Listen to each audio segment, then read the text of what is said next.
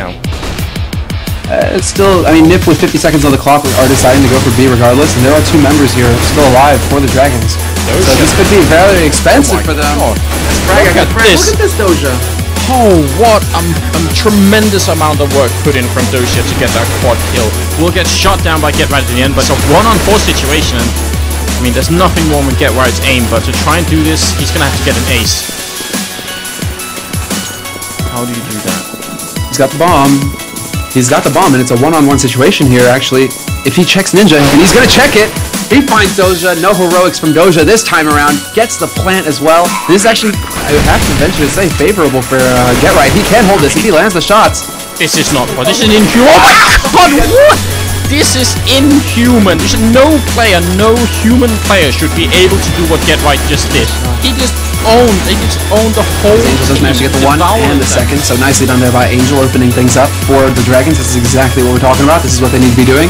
Yeah. um, you know, working out those flashes together, giving each other the openings to work with. Like this is what we're talking about right now. As Markeloff doesn't quite manage to connect, at least Angel is there for the refrag, and he gets the fifth as well. Actually, was that wasn't an ace for Angel, was it?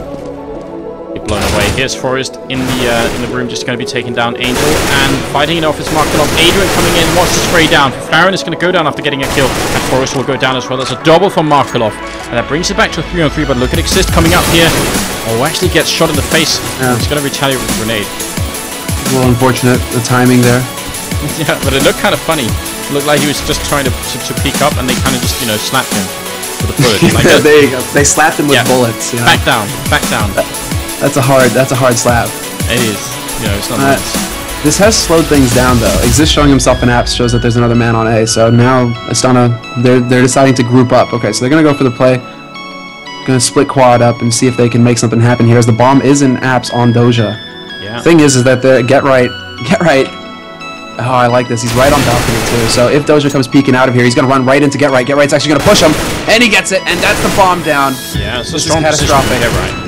This is horrible. This is horrible for the Dragons. How are they gonna get it back? I mean, it's so difficult. 20 seconds left. They are going to flash up, but one is going to... That's actually uh, Edward coming in from behind Mark. Edward, oh, there we go. Markeloff gets the shot. I was going to say Edward was coming in to flank him, so Get Right was actually in a lot more trouble than maybe he thought. friberg over here fighting it out. Eight seconds left, and look at that. They're going to flash it up. There's actually a quad kill so far for Markeloff. Is he really going to get the ace? Oh my god, he does. Markeloff, that's the third ace of this match. If anyone was just wondering if we're watching top players, then, you know, that in itself is a pretty sick statistic. And this time it's Markeloff.